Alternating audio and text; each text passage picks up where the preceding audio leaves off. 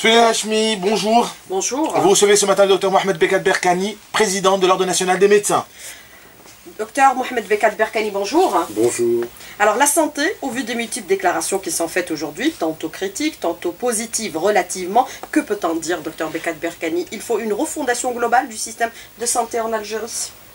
En fait, euh, effectivement, une euh, refondation globale, ça appelle une totale réorganisation du système de santé en fonction bien sûr de la situation, qu'elle soit financière, en fonction de la transition épidémiologique des maladies, en fonction de nos possibilités, tout en gardant euh, en, mémoire que la santé euh, publique est l'apanage des pouvoirs publics, même si on, a, on fait une répétition dans ce cas, euh, dans la mesure où, l'État doit la santé aux citoyens. D'ailleurs, c'est dans la Constitution, d'ailleurs, c'est dans tous les textes qui réglementent la santé.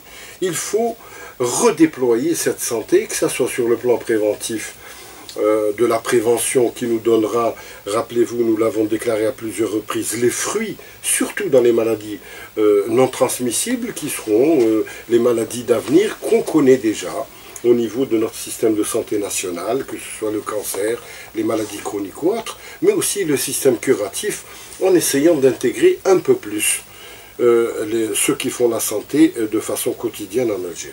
Alors, une refondation, la santé, c'est les lois, les déclarations ou la pratique du terrain? Que faut-il favoriser aujourd'hui, docteur Bekat Berkani Je suis tenté de vous répondre, sur Hachmi, les deux, mon général, dans la mesure où il s'agit en fait de refaire les textes euh, fondateurs, les textes qui réglementent la santé, à savoir la loi sanitaire qui est en cours, qui est en cours de deuxième lecture, qu'il faut absolument bien préparer pour pouvoir pallier et réfléchir à tout ce qui pourrait se poser, mais aussi sur le terrain, essayer d'améliorer ce qui est améliorable. Et je pense que, euh, même de l'aveu des pouvoirs publics, il y a beaucoup de choses à faire et toujours en faisant participer ceux qui font la santé au quotidien. Ça veut dire les médecins, ça veut dire les infirmiers, ça veut dire les gestionnaires, ça veut dire aussi les usagers, n'est-ce pas les, les intéressés et le grand public en général pour pouvoir avoir une complémentarité dans la bonne santé de notre population. Alors accélérer également la mise en œuvre de cette loi sanitaire aujourd'hui impérativement, docteur Bekat Berkani ben, Écoutez, elle est, elle est en avant-projet de loi. Je pense qu'il y a beaucoup de choses qui sont intéressantes. Il y a des choses aussi qui le sont un peu moins, qui seraient intéressantes de réfléchir encore pour avoir une loi qui soit applicable. On revient au terrain. On parle de mise en œuvre. Je parle de mise en œuvre. La mise en œuvre d'une loi, vous savez, toute loi, aussi magnifique soit-elle, euh, il faudrait penser à son applicabilité, comme vous le dites, sur le terrain. Or, sur le terrain, vous avez un certain nombre de choses déjà améliorées, même avec les anciens textes, qui ne sont pas des textes qui sont tout à fait contraires, qu'on peut faire euh, améliorer pour essayer d'avoir un meilleur rendement de la santé. Le problème, vous savez, la santé, c'est quelque chose de complexe. Mais au bout du compte, c'est ce qu'on appelle le service médical rendu. La question qu'on doit se poser aujourd'hui, est-ce que le citoyen algérien est satisfait en particulier de la santé publique? C'est la question fondamentale qui doit se poser à tous les intervenants euh, dans ce secteur sensible. Alors je vous retourne la question, est-ce que le citoyen ou le malade algérien est satisfait des prestations aujourd'hui? Docteur Bekat Berkani, vous qui êtes sur le terrain, vous ben, qui, écoutez, vous n'avez qui connaissez le secteur. Oui, vous n'avez qu'à faire un micro-trottoir et vous verrez à la sortie... Euh, des, hôpitaux ou des polycliniques, vous verrez que les médecins, les, pardon, les, les, citoyens sont peu ou pas satisfaits vraiment de cette situation. Pour des raisons multiples. Ça n'est pas la faute euh, disons, à une personne ou à deux personnes, c'est le système en lui-même qui doit dicter, comme on l'a dit en titre, d'une refondation. Refondation des moyens, refondation des esprits, refondation de la qualité de la prise en charge, comment un médecin doit se comporter, comment un personnel paramédical doit se comporter, une injection, vous ne manquerez pas de me dire, de responsabilité et de moralité, vis-à-vis des malades, actuellement, comment l'accueil fait des malades, comment ils sont considérés, comment tout ça est à revoir.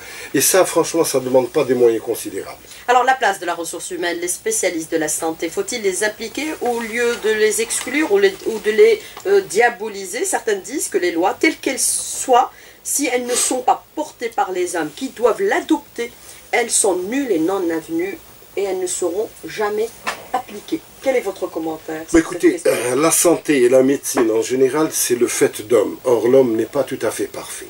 Par conséquent, il faut dialoguer avec ceux qui font la santé au quotidien, qu'ils soient les médecins spécialistes, puisqu'il s'agit de médecins, pour pouvoir améliorer les choses immédiatement. Quand on dialogue de façon directe, sans intermédiaire, avec les chefs de service, avec les maîtres assistants, quels sont les problèmes multiples qu'on peut améliorer probablement dans la semaine? À ce moment-là, on aura fait un petit pas.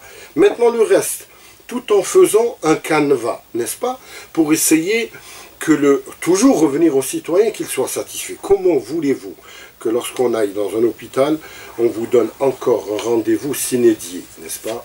Que vous soyez satisfait. Le citoyen est angoissé. Nous avons dit que le principal but était de rendre confiance euh, pour le citoyen dans son système de santé national. Or, en particulier le système de santé publique. Or, aujourd'hui, vous savez bien que quand vous voulez vous faire opérer, il faut absolument, on vous conseille d'aller dans une clinique privée. Pourquoi? Parce que, pour des raisons multiples, qu'il est inutile d'énumérer. Notre souci principal, c'est d'essayer de redorer le blason de la santé publique. Alors, vous avez de multiples petits problèmes qu'il faut régler, mais directement, dans un dialogue direct. Alors, dialoguer avec euh, les spécialistes de la santé, médecins, spécialistes, chefs de service Tout à fait. Il était quelques années, vous avez un ministre de la Santé passé qui a fait des assemblées générales de tout le corps médical et qui a pu en tirer des conséquences directes pour améliorer les choses. Vous avez des choses que vous devez entendre en tant que premier gestionnaire de la santé de la part de ceux qui font la santé au quotidien. Et vous les améliorez. Ça n'est pas utile de passer par des filtres administratifs qui vous racontent un petit peu la chose et son contraire, et qui ne sont pas des témoins fidèles d'une situation qui, au demeurant, parfois très préoccupante, et je vous dirais encore, c'est véritablement la vie des citoyens que vous pouvez recueillir dans, euh, partout où vous passez concernant le système de santé national. Alors, euh, écoutez les médecins, mais les médecins aussi, nous devons euh, les garder en Algérie, les soutenir, les accompagner. on en a perdu déjà pratiquement aujourd'hui, c'est les chiffres qui sont donnés depuis quelques années déjà, pratiquement 6000 médecins généralistes qui sont installés seulement en France, ne pas aller encore dans le sens de l'encouragement à leur départ, puisqu'ils sont sollicités, extrêmement sollicités par d'autres pays. Sur la Lachmi, euh, ici, sur ce même plateau, nous avons dit qu'il fallait investir dans les jeunes, dans la situation montante des médecins qui sont en formation, nos futurs spécialistes. Or, il y a quelque part une désespérance qu'il faut rétablir vis-à-vis des carrières, vis-à-vis des moyens. Vous avez ces jeunes qui partent, bien entendu, pour essayer de trouver de meilleurs cieux. Non pas en rétribution, mais sur le plan de la carrière professionnelle. Essayer tout simplement de faire un métier pour lequel ils ont été préparés s'épanouir. Or, euh, force est de constater que ceux qui sont partis et d'autres qui sont restés qui ne rêvent que de partir. Ça, c'est un constat qu'on doit assumer. Euh, il est inutile de rêver, de vouloir rétablir et de ramener ces jeunes, mais d'essayer de sauver au moins l'essentiel. La médecine, ce n'est pas du génie nucléaire. La médecine, ce sont des pratiques qu'on apprend très bien dans son pays, voire euh, il n'y a qu'à voir l'exemple de pays voisins qui ont su garder leur intelligence médicale et qui travaillent dans des conditions tout à fait optimales. Alors, la question qui se pose pour nous, comment limiter les dégâts? Il faut que la médecine revienne dans des situations normalisées telles que sont l'apanage de plusieurs pays émergents dans le monde, et l'Algérie ne fait pas exception, bien au contraire, l'État investit dans, des, dans toute forme d'équipement, il faudrait que le rendement soit à la hauteur et faire confiance aux jeunes. Mais beaucoup partent et continuent de partir aujourd'hui dans le corps médical, docteur Bekat Perkani. Oui, tout à fait. Je vous assure que c'est une véritable hémorragie. Il faut stopper cette situation. Il faudrait se mettre, il faudrait faire confiance encore une fois aux résidents. Vous savez, dernièrement, il y a eu une annulation d'un concours de résidanat pour des raisons qu'on ne saurait pas expliquer de fraude ou autre. On a annulé un concours de résidanat. À notre sens, c'était de chercher des responsables au lieu d'annuler carrément un concours en lui-même, où vous avez des jeunes, des, garçons et des filles qui se sont préparés pendant des années. Il, faut... Il y a une jeune fille qui a tenté même de se suicider. Ben écoutez, bien sûr, la désespérance, elle, vous, elle vous amène à des extrêmes. Il faut, encore une fois, le leitmotiv, préparer la relève et faire confiance à ces jeunes médecins, garçons et filles, plus filles que garçons, à leur donner des responsabilités et à les mettre en orbite. C'est la future médecine algérienne qu'il faut préparer d'ores et déjà. Alors comment préparer cette relève quand la plupart rêvent de partir dans d'autres pays? Certains considèrent que l'Algérie est devenue une pépinière de formation pour les autres pays. Quel est votre C'est la réalité. Si vous prenez, 14 ans de formation Si vous prenez sur le plan économique, nous formons à coût de millions de dinars des futurs cadres médicaux, en particulier de l'Algérie, qui font le bonheur des services étrangers, hein, qui soient par, par, la voie de la francophonie, qui soient en France ou ailleurs, maintenant au Moyen-Orient. Euh, euh, des gens qui sont préparés, qui sont tout prêts à l'emploi, je dirais. C'est une véritable ineptie. Les médecins, la vocation d'un médecin algérien qui est formé par son pays, c'est de rester en Algérie. Le problème qui se pose pour nous tous, nous sommes tous responsables, les pouvoirs publics en premier, comment faire les conditions pour qu'ils restent dans notre pays, bien sûr qu'il soit un apport en plus pour notre population. Alors, cette question, il faut la résoudre ensemble et parler aux intéressés. Les intéressés, eux, doivent trouver des solutions et nous montrer la voie à suivre pour nous, n'est-ce pas, responsables de la médecine. Oui, mais combien on en forme pratiquement annuellement Et pourquoi ce rush et cet intérêt pour la formation médecine Parce qu'elle ouvre des perspectives pour les Bien entendu, vous avez. C'est une réalité. La formation est en panne. La formation post-universitaire est en panne.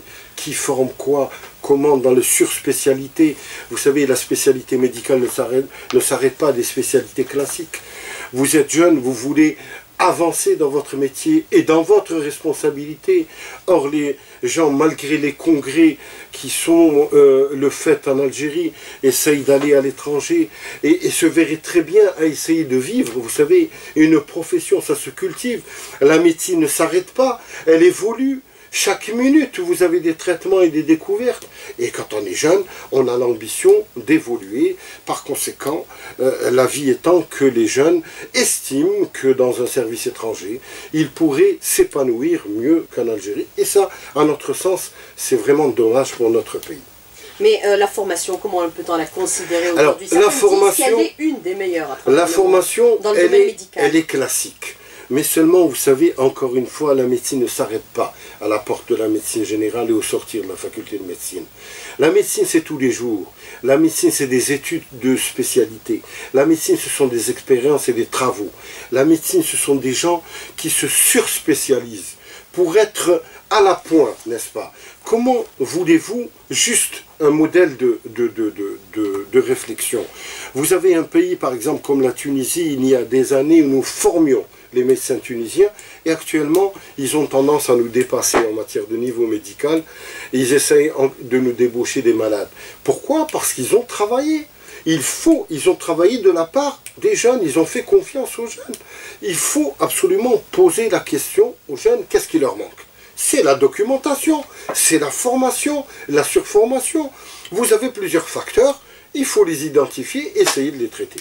Alors, euh, avec cette évolution épidémiologique, est-ce qu'il faut aller vers de nouvelles spécialités au niveau des universités? Certains disent que nous ne formons pas en quantité dans certains euh, domaines, par exemple, qui sont euh, très importants aujourd'hui, vu l'évolution épidémiologique, par exemple, des radiothérapeutes notamment, Tout si à je fait. prends cet exemple, vous dans le domaine de la cancérologie. Bien sûr, vous avez une transition épidémiologique, font que les Algériens, pour le bonheur de l'Algérie, vivent plus vieux.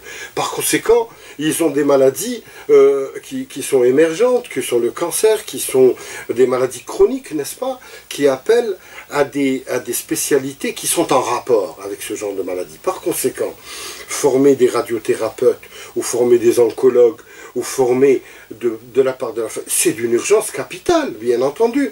Former la gériatrie, vous savez, les maladies des personnes de troisième âge, euh, des troisième âge, c'est quelque chose pour laquelle nous n'avons pas pensé. Or, il y a un vieillissement de la population algérienne. Actuellement, euh, ce type de, de, de tranche d'âge a une pathologie qui est particulière. Il faut que la médecine s'adapte bien entendu, à cette transition épidémiologique. Vous avez aussi la prévention qui est absolument capitale des maladies euh, non transmissibles. Vous avez la prévention du cancer. Il faut absolument que nous formions dans, cet axe et c'est ça qui nous ramènera des fruits. Mais la gériatrie, justement, on n'y a jamais pensé ben, écoutez, ce sont des... On n'a jamais pensé qu'on vivrait un jour, Non, c'est du fait de notre société en elle-même qui a tendance à considérer les vieux dans un cocon familial.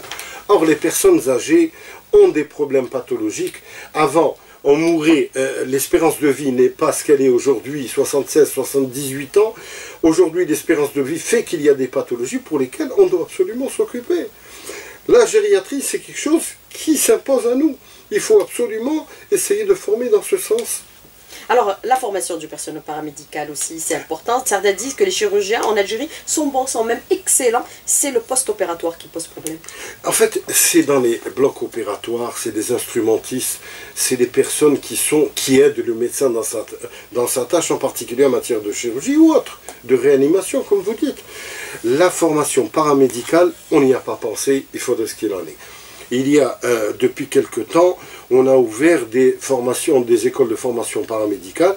Il faut absolument considérer que le poste de paramédical, c'est un poste essentiel. Dans certains pays, on se dirige délibérément vers le paramédical avec des possibilités sociales qui sont équivalentes au médecin. Un infirmier touche comme un médecin.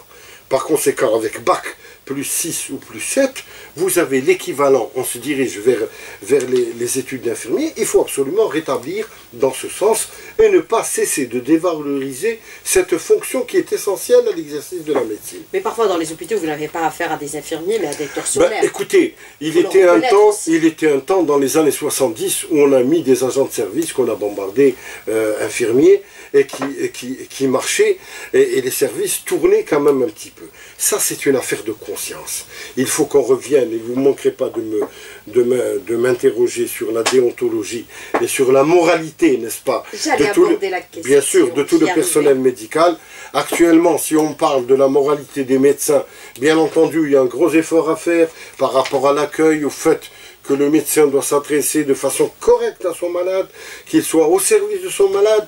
la médecine, c'est un sacerdoce. L'infirmier, bien entendu, vous voyez ce qui se passe dans les structures publiques en particulier, où vous avez le personnel paramédical, il faut le dire, à part des exceptions près, où il y a une façon de se comporter qui n'est pas à la hauteur de leur métier. Alors, enseigner le sens de l'éthique, la responsabilité médicale, l'humanisation de la santé, considérer le malade comme si c'était le sien, sa mère, sa soeur, Tout à fait. sa belle-sœur. Je vais vous dire, pour paraphraser un de mes maîtres aujourd'hui disparu... Ne pas recourir au piston, qui solliciter des blouses blanches pour être traité Tout à fait, qui m'avait dit à l'époque de se comporter vis-à-vis d'une personne comme si c'était quelqu'un de sa famille.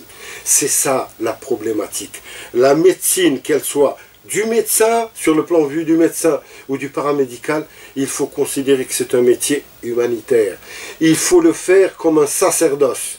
Il faut considérer que le malade, c'est quelqu'un qui est diminué physiquement, voire même moralement, essayer de lui donner le maximum de soi-même.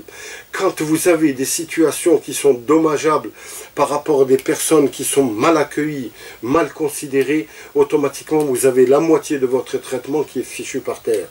Il faut considérer que les lieux médicaux, qui soient hôpitaux, dispensaires, polycliniques, ce sont des lieux d'accueil où la psychologie est la moitié déjà du traitement. Actuellement, il y a beaucoup de, travail à faire dans ce sens. Et ça, vis-à-vis des médecins, nous avons notre petite idée à faire. Ils ne sont pas préparés à leur métier, déjà dans leurs études. Et je ne parle pas du personnel paramédical. Mais est-ce que c'est normal qu'on soit, qu'on soit obligé d'être pistonné pour avoir un rendez-vous dans l'hôpital, pour une consultation médicale, pour une intervention chirurgicale? Vous savez, ce sont de mauvaises habitudes. Ça, c'est une réalité. Les pouvoirs publics, probablement, ont mis les moyens, mais c'est de mauvaises habitudes où vous avez tout le monde qui se concentre. Actuellement, vous avez une étude de faire des, structures de proximité. Mais les gens ont, perdu un peu la confiance dans ces structures périphériques. Ils affluent vers l'hôpital, vers les urgences de l'hôpital. Comment Notre problème, notre challenge, comment rétablir essayer de rétablir le flux pour que les gens ne puissent pas s'adresser toujours aux mêmes structures?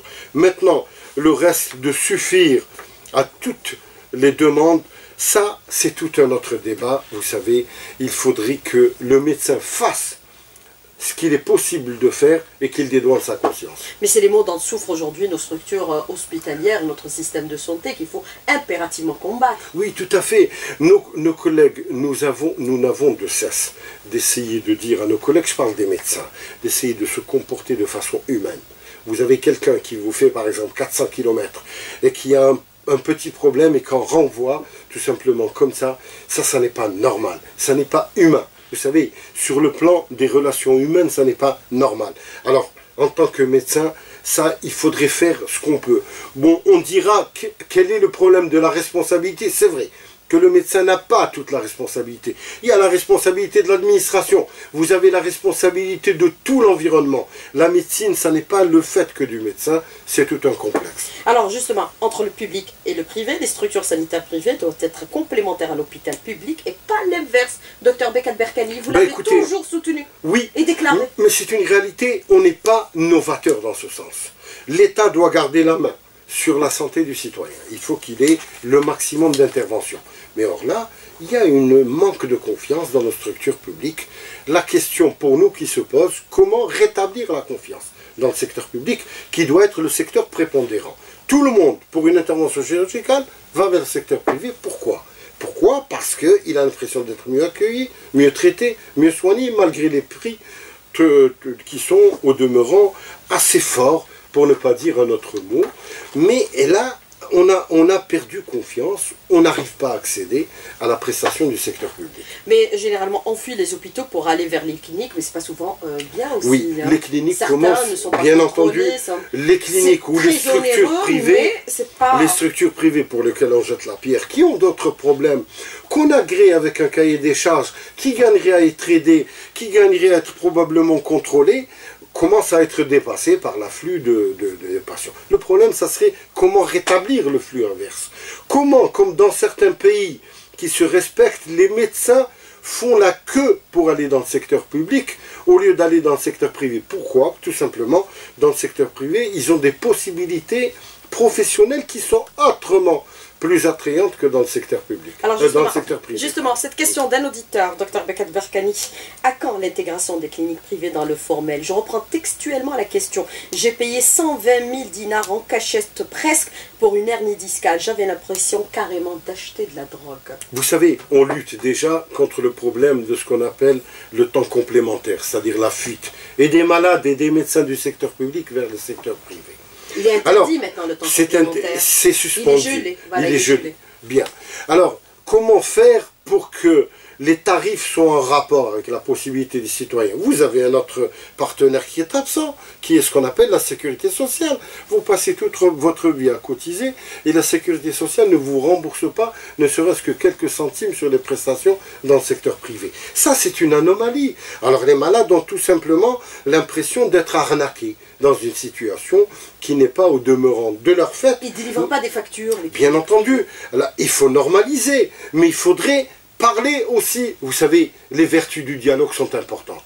Les structures privées, les cliniques privées ont leur place. Il faut leur redonner leur place, d'appoint dans le système de santé national.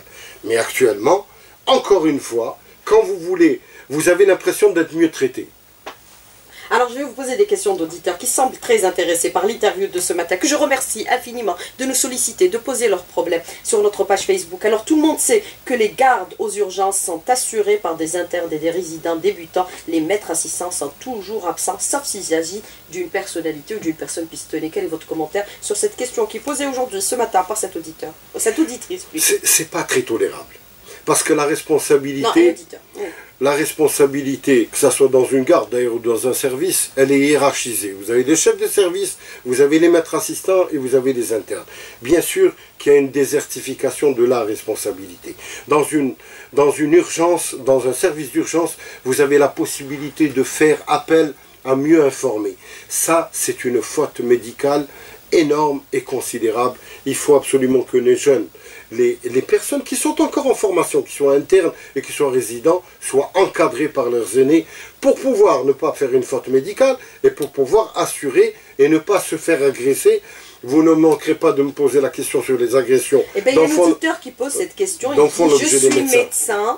Je crois que la décision de faire appel à des sociétés de gardiennage ne fera que euh, gérer le problème de la violence par certains, euh, avec certainement moins de conséquences. Quel est votre commentaire sur cette question qui est soulevée aussi aujourd'hui par les internes? société de gardiennage, vous avez des vigiles privés qui sont dans les hôpitaux. La situation est plus ou moins pas tolérable. Pourquoi? Parce que le système de recrutement, je rentre pas dans ce... dans- Je sais une chose, c'est que le médecin, ça doit faire son métier et qu'il soit garanti par la force publique. C'est un, c'est un fonctionnaire de l'État. Il faudrait que l'État puisse assurer sa sécurité. Il n'y a pas tellement longtemps, vous aviez des, euh, postes de police qui étaient devant les services d'urgence, qui ont à gérer la violence qui est de plus en plus croissante, croissante dans notre société. Le médecin doit faire son métier, mais il doit être mis à l'abri de toute vicissitude. Ça, c'est un principe. Alors, quel est votre commentaire sur justement les médecins qui euh, détournent les malades vers le privé parce qu'ils pratiquent chez le privé? Ça n'est pas normal. Vous savez, c'est le, malade qui soit, euh, qui, qui lui migre d'un compartiment à l'autre. On n'a pas le droit de faire, comme vous dites, un détournement entre guillemets. Si le malade est satisfait, qu'il aille d'un secteur à l'autre, il y va de sa propre volonté. À quand une médecine professionnelle en Algérie Les médecins donnent l'impression que c'est devenu des commerçants? Pas, pas du tout. Pas tout à fait. Vous savez, les médecins ne demandent qu'à jouer dans un système qui soit clair. Mais il faudrait leur donner la possibilité de choisir entre deux secteurs, encore une fois, qui soient étanches. Vous êtes dans le secteur privé, vous avez des règles. Vous êtes dans le secteur public, vous avez des règles aussi, vous êtes fonctionnaire ou hospital universitaire ou de santé publique. Il faut que ça soit le malade qui puisse aller d'un secteur à l'autre en fonction de ses possibilités probablement financières, mais en fonction de la, de la confiance qu'il accorde à l'un ou à l'autre. On ne peut pas considérer que la médecine est un commerce. Alors, qui contrôle les cliniques privées? À qui se plaindre en cas d'abus? Ben, écoutez, les cliniques privées, elles sont contrôlées par un peu tout le monde. Vous avez le ministère de la Santé, c'est lui l'omniprésent, mais vous avez les plaintes qui sont adressées à la justice, au Conseil de l'ordre, aux, aux commissions de discipline. Le problème, c'est pas êtes le tellement... président du Conseil de Oui, l'ordre nous avons reçu. Et, Combien et vous en recevez des plaintes, Ben, par exemple, eh, de Je ne dirai pas non parce que c'est un secret professionnel. Mais, Mais combien Le ben, docteur écoutez, vous dit tout ce matin, pourquoi vous, pas, vous pas- cachez le chiffre nous ne parlons pas que des cliniques privées, vous avez des Non, je parle du sont- privé, du public. Combien de plaintes vous en recevez Vous, Même vous avez sur par exemple, dans un demi-mandat, nous avons traité 200 plaintes. Ça ne veut pas dire que ce sont 200 fautes médicales, mais il faudrait que la possibilité du citoyen, quand il considère qu'il est maltraité, qu'il puisse avoir une situation de recours. D'ailleurs, au Conseil de l'ordre ou à la justice, qui est libre aussi de donner des dédommagements. Il faudrait que l'état de droit se fasse. Mais là, le problème n'est pas dans la sanction. Le problème est dans la normalisation de l'activité médicale. Or, maintenant, vous voyez qu'on est encore dans les vœux, pieux et dans les vœux d'intention. Alors, euh, un auditeur vous dit, docteur Bekat Berkani, s'il y a violence au niveau des hôpitaux, parce que souvent les malades meurent par négligence médicale, ce que protestent aujourd'hui des familles. Ils sortent d'un bloc et vous disent Allah yarhamou, hadi al-katba alors qu'ils ils auraient pu, pour un, un- une petite intervention bénigne, le sauver. Quel est votre Ben, écoutez, commentaire? je ne rentre pas dans des commentaires de fond. Vous savez, la médecine... Eh bien, on a bien euh, c'est le oublié des ciseaux dans le ventre des malades. Oui, ça c'est un peu l'image d'Épinal, euh, stricto sensu, excusez-moi un petit peu du terme, quand on oublie quelque chose. Le problème c'est la relation médecin-malade, c'est clair au médecin-famille qui est à recultiver. Il est hors de question de considérer la médecine comme quelque chose qui est assez sec. Il faut donner l'impression de toujours faire quelque chose, même quand on n'a pas les moyens. Vous avez de par le monde des pays qui sont en situation de guerre ouverte ou de guerre civile. Vous avez les médecins qui se comportent de façon exemplaire. Et c'est ça l'appel que nous faisons à tout le corps médical dans son ensemble, qu'ils soient médecins, paramédicaux ou même gestionnaires de faire tout simplement leur métier. En dehors de toutes les lois, les recommandations, les réunions, les séminaires, de faire leur métier de façon la plus humaine possible et, et fondamentale. Alors, vous avez abordé la question de la confiance. Certains malades aujourd'hui recourent à la médecine parallèle, c'est-à-dire la médecine traditionnelle. Est-ce que c'est parce qu'ils n'ont plus confiance à la médecine Probablement. La médecine euh, Très certainement. moderne. Et ça, vous avez la responsabilité des pouvoirs publics On recourt qui ont à permis, l'herborisme. qui ont permis, qui n'ont pas euh, traiter le problème de l'exercice illégal de la médecine. Vous avez des gens qui sont installés, qui ont pignon sur rue, qui sont à la fois médecins et pharmaciens, qui font des diagnostics, qui donnent des traitements de perlimpinpin à n'importe qui. Nous sommes revenus dans une situation dégradante où nous n'avons cessé de tirer le signal d'alarme vis-à-vis de ces situations qui sont tout simplement du charlatanisme, n'est-ce pas? L'Algérie doit mériter, bien sûr, et mérite d'avoir un système de santé national moderne et, et, ne pas revenir dans des travers d'un âge ancien et absolument dépassé. Alors le gel de réalisation des cinq grands CHU annoncé, annoncé en grande pompe, c'est une fatalité ou faut-il euh, se contenter du présent pour procéder à sa réhabilitation, l'améliorer Vous avez parlé de gel, en fait de gel, vous avez euh, le gel, ça veut dire que nous arrêtons pour des raisons probablement conjoncturelles, financières, économiques. Ça veut dire que le principe est admis. Moi, je vous fais rappeler une chose sur la Lachmi, c'est que nous avons toujours plaidé, il y a des années, quand il y avait une aisance financière, de la construction de ces hôpitaux. Ça n'a pas été fait. Le vœu est là, Probablement les projets sont là. Maintenant, il faut gérer avec l'actuel parc. Bien sûr, existant. D'avoir de, de, bonnes habitudes, d'essayer de s'occuper encore une fois, bien entendu, de ceux qui font les structures de santé, de ceux qui font la gestion tous les jours, trouver des solutions définitives à nos jeunes, trouver une solution de fonctionnement optimal de la médecine, et je pense qu'on s'en sortira par le haut. Pensez à nos malades aussi qui sont Bien entendu, nos malades dans le sud des hauts plateaux, essayer de les accueillir, faire une télémédecine, essayer d'être humaniser notre médecine, et c'est ça le leitmotiv de notre... Nous solliciter, solliciter également nos médecins qui sont à l'étranger pour venir oui, de façon spot. viennent gratuitement. Bien entendu, de façon spot, mais vous savez, les médecins qui sont à l'étranger, ce sont des gens qui sont magnifiques, qui sont prêts à nous aider de façon temporaire, mais faisant appel aussi à ceux qui sont là et qui endurent tous les jours et qui font la médecine algérienne tous les jours. Euh, docteur euh, Bekat, euh, Mohamed Bekat Berkani, merci d'avoir répondu à nos questions. C'est moi qui vous remercie, encore une fois, avec plaisir d'être avec vous dans le studio.